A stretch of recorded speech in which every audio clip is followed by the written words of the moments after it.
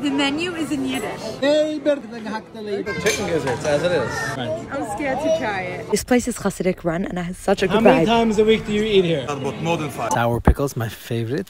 Leffi, chale, and Which kosher. Mendel loved. Super traditional gefilte fish. And look what it came with. It's called Kalchnio. Okay, Mendel wasn't a fan, but he did love the gefilte fish. These latkes were good. These foods are all Ashkenazic Jewish foods, mainly from Eastern Europe. Authentic Heimish as we can be. Hungarian dish called peppergach. Obviously, Mendel ended up with the hot dog and bun. Here I am testing my fear of Levant. It's actually so good. If you want real good Jewish food, eat their cholent. This is overnight chicken. Look how it crumbles off the bone. And if you give me schnitzel, I would just always be happy. Danny put on a bib so that Mendel would too. Levo Kappas' delicious pasta came out. This is Danny's favorite. Gosh. Are you okay? I'm hungry today. I'm usually not this type of food person, but the food was really good and I had so much fun in the restaurant. There was such a vibe. Mendel vlogging We both can't move. We just.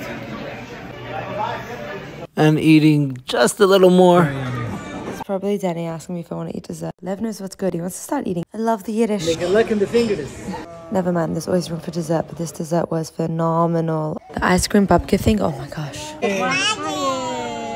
Thank you, Tipper, for saying hi. This was such a fun experience. So authentic, so real, so good. Jewish food kept alive.